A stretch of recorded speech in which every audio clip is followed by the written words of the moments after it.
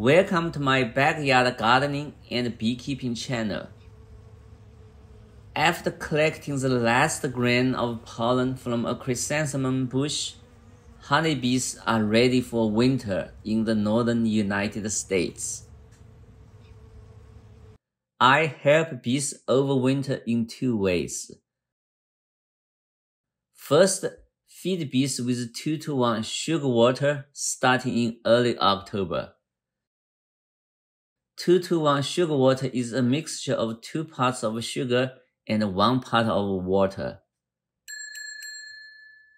For example, 10 pounds of sugar and 5 pounds of water will make 2 to 1 sugar water. Sugar water is fed to bees in repurposed ice cream buckets. Fall feeding in my apiary is an all-you-can-eat buffet for the bees.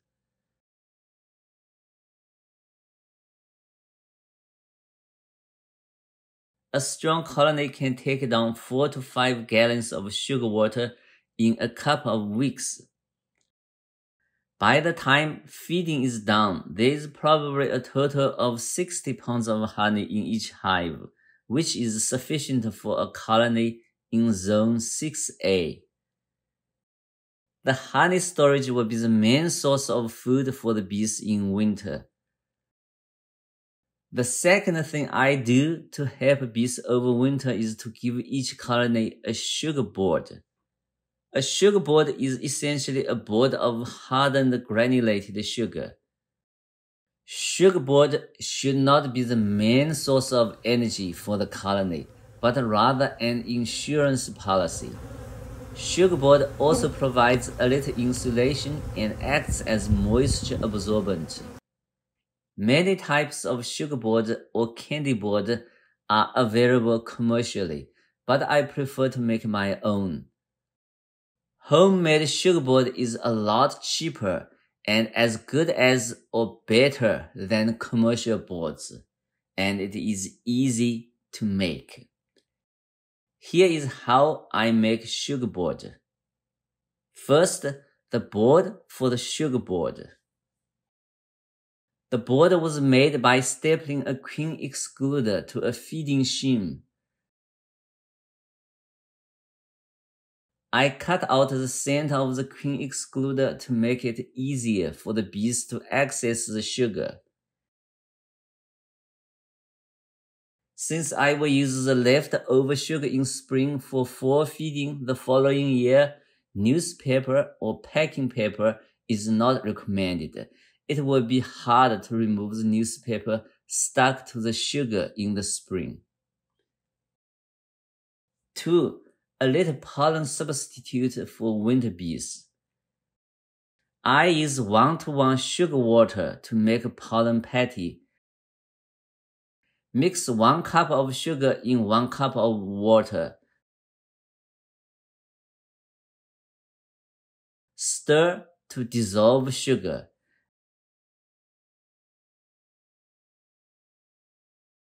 Add pollen substitute to sugar water.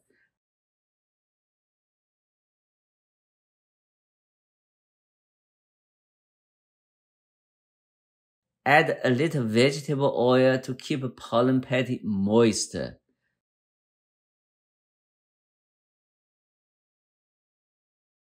If too dry, add a little more sugar water. If too wet, add a little more pollen substitute. Mix ingredients until it feels like Play-Doh.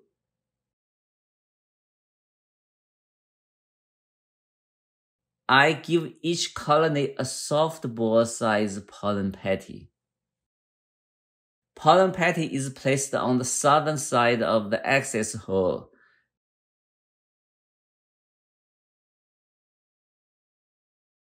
Bees like it on the southern side.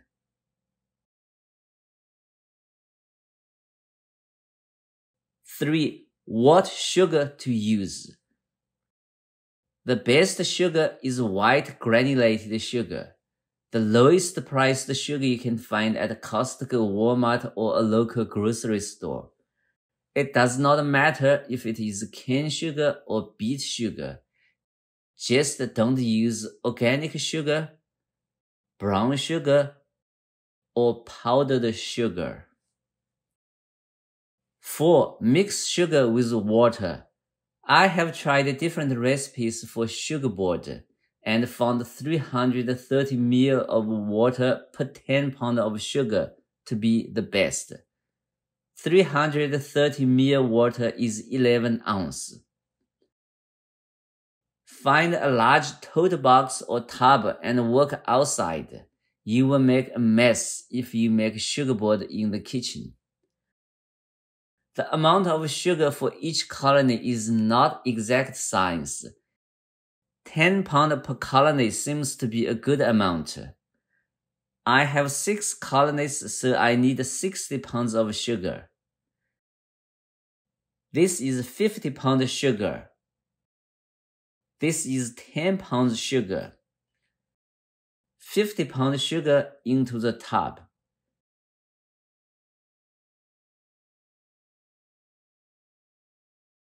An additional 10 pound into the tub.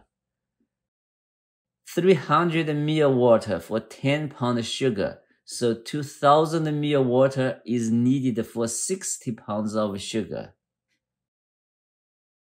First 1000 ml of water. Mix sugar and water.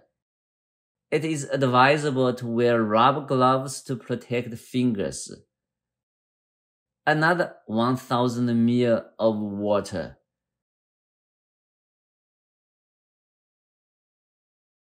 A little apple cider may be helpful but not required. I usually add one cup of apple cider to 60 pounds of sugar. Mix sugar and water thoroughly until it feels like wet sand.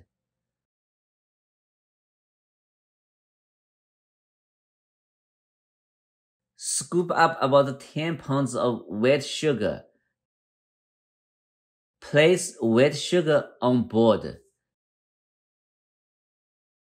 Try to spread the sugar evenly and snugly at the corners.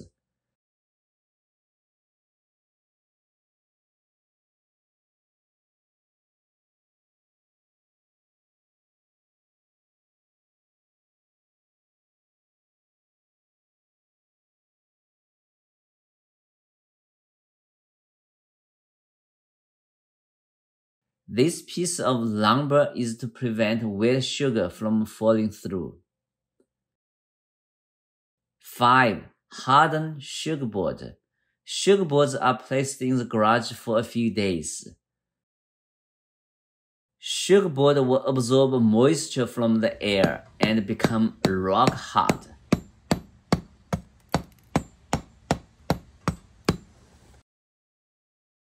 Remove the lumber block. Now the sugar boards are ready. Sugar boards help honeybees overwinter successfully. Colonies come out of winter strong and healthy. Thanks for visiting my YouTube channel. See you next time.